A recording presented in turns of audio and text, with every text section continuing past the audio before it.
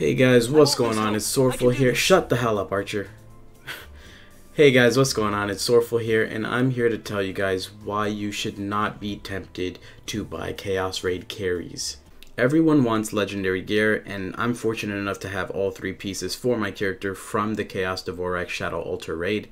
Um, and I'm gonna try and inform you guys and hopefully persuade you guys to not buy a Chaos Raid run ever. Uh, for starters, you're going to be able to do chaos raids on your own with a random group probably within the span of a week. And that's honestly not a long time. People i know are selling uh, chaos raid runs for around 40 mil which is a hell of a lot of meso. And if you have that much what you really should be doing with that meso is honestly saving it for when you get your legendary equips because getting these legendary equips on their own doesn't really do much especially if you already had really good um, items in that slot already. For example if you have Varrekant horns if you have gloves with 5.4% physical piercing maybe even better. If you have shoes with boss mine don't have anything really useful for me. But if you have have good shoes, then you're not going to really see an increase in your damage from the legendary equips. The only increase you're even getting from these equips falls. is from the 3 set bonus effect, which gives you 250 bonus attack as well as 10 spirit. So having these legendary equips uh, on their own as is doesn't really do much for your character. Um, there's a lot of people who don't have legendary equips who still do more damage than me um, because they just have better bonus attributes. Right now the game is kind of in a state where bonus attributes trump all. So don't think, you know, because like if you buy a chaos raid run, that's that's setting you back a whole shit ton of meso. What you get from the chaos raid is a random legendary box. I don't have one, but I, I made a video on it already. Um, you get a random box that gives you a random equip for any class. So buying one run is most likely not going to get you anything for your class and you're essentially just going to be wasting your meso. You can't do anything with that equip except for dismantle it, which will give you one of these boxes, and you can't do anything with one of these or 10 of these boxes unless you got three equips to dismantle and you can make a whole um, equip uh, for your class. So first of all, it's pointless to buy just one run. If you are going to buy them, you might as well buy three. Um, but that's not the point of this video. I'm not trying to uh, convince you guys to buy them. I'm trying to convince you guys to not buy them. Because again, legendary equips on their own, they're not really going to do much. I'm going to do a little bit of a damage comparison so you guys can see um, my damage uh, with these three equips versus the three legendary equips.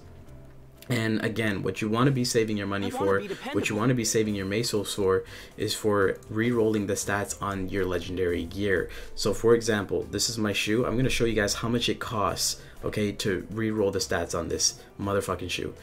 So if I go to change attributes here, and if I put my shoe in, look at how much onyx crystals. This is because I already rolled it once for the day, so this is the number two. Um, if I were to put in my helmet, this is how much it costs for the first roll. It costs 4 blue crystals, 2,000 crystal fragments for the first roll, and 161 meta cells. This is a shit ton of resources. If you wanted to buy 2,000 crystal fragments, that's going to set you back 2 mil. So if you have 40 mil to spend on a Chaos Raid run, trust me when I say that if you save that Meso to actually enchant or reroll sorry if you save that meso to actually reroll the attribute on your legendary gear you'll be a hundred times better off because you'll be the one person who doesn't just have legendary gear but you'll be the one person who has good rolled uh, legendary gear. And that's much more important than just having these garbage ass legendary equips. The only reason why I think people are trying to buy Chaos runs is because they're really just trying to be, you know, in that legendary uh, equipped group. Um, if you look at some of the people who have cleared legendary and Chaos raids, not all of them are wearing these equips because they don't, they don't necessarily give you more damage especially again if you have a really good set of epic equips already established and on your character. They, they they're not really going to do anything. I'm in a position where i was fortunate enough to have done all six of my chaos raids and i've been even more fortunate in the sense of getting all three um, equips for my class and I could honestly tell you that it doesn't really make a difference for my character. It's it's not a big deal. Uh, there's no need to rush to be you know one of the first groups or anything like that to complete this raid because soon enough there's going to be everyone who knows his mechanics. Everyone's going to know how to do the fight to the point where even if you are plus 13 you'll probably still be able to get into a group successfully and clear the raid. And i'm thinking this is going to happen really fast with how much maple story 2 players are able to grind and put in the work. I know that a lot of us are going to be able to just hop in a, a random pickup group a pug group and honestly just clear the raid like it's nothing almost. Um, Chaos Devorak is a really fun boss to fight, and I would hate for anyone to pay to uh, bypass that whole experience of having to learn his mechanics and fight him because then you'll be that one person with like two, three legendary equips. Uh, you have all of them and you have no money to reroll the the bonus attributes and you have no idea how to fight the boss if you know your friends need help like who who the hell wants to be that guy uh, if you want to be that guy, let me know in the comment section below that like button. But I would hope that none of my viewers want to be that guy. I'm I'm pleased to say that I know the boss's mechanics fairly well. Uh, it's super fun boss fight to do, and again, just give it a little bit of time. Even if you're at plus 12 still and you're working to plus 13, whether your weapon keeps failing or not, keep stacking up those fail stacks. Don't lose motivation. This is not a reason to quit the game. I understand it can be tedious, but again, who's racing here? There's no race. I have three legendary equips, and this shit doesn't mean anything. Like, it literally doesn't mean anything. It doesn't do shit. Honestly, I, I kid you not, if I could trade these away to random players or my viewers, I would give all three of them away just to prove a point that I don't have Mesos to be re-rolling these stats. I don't have the Meso right now, so right now my legendary equips are almost useless for me.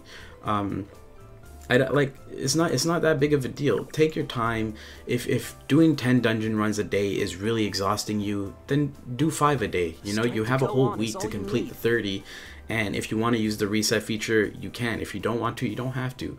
So take your time, even if your weapon keeps failing, don't lose motivation. Again, it's not a reason, in my opinion, to quit the game. RNG is is something really tough for a lot of us to deal with and um, I understand that the Reddit is showing that in full effect uh, the Maple Story 2 Reddit and I understand that again I was lucky I'm a privileged player in that sense where RNG blessed me but even so, keep in the back of my mind, keep in the back of your mind that you're not working towards nothing. You are getting fail stacks for every time you fail the enchantment.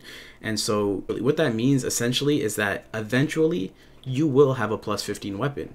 It's just about you know how many fail stacks can you get and of course the more you grind those dungeons if you do all 10 a day you get more fail stacks for that day than someone who's only going to do 5 a day so again it all comes down to the amount of time you want to put in again it can be frustrating frustrating but keep with it and honestly once you get to plus 14 by the time you get to plus 14 there's going to be a lot of people who are able to do these dungeons um, without you know needing everyone at plus 15 because people are just going to be that advanced and know the mechanics that well.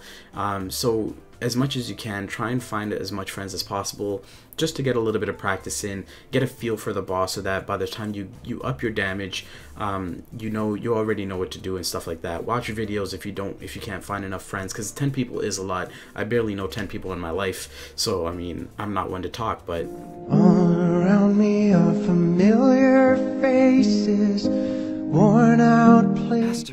Yeah it's, it's just don't bypass the fun by buying a run. It's really not worth the Meso. And again, you're going to need that Meso to re-roll the stats on this legendary gear anyway.